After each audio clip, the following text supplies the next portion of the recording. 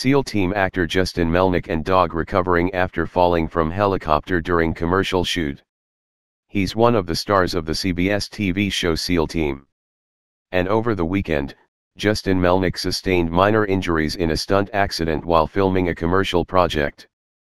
The actor, according to Deadline.com, fell about 20 feet as he was fast roping from a helicopter while carrying a dog.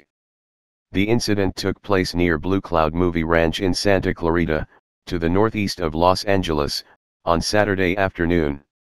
Melnick was transported to a hospital where he was treated for non-life-threatening injuries. A spokesperson for the actor told Variety Sunday that Melnick is doing fine and recovering at home, and stressed that the shoot the actor was doing was not in any way associated with SEAL Team. Ironically, last week, he had posted video to Instagram in which he's seen successfully performing the fast roping stunt carrying a dog. The dog that Melnick was performing the stunt with is also recovering and in good condition.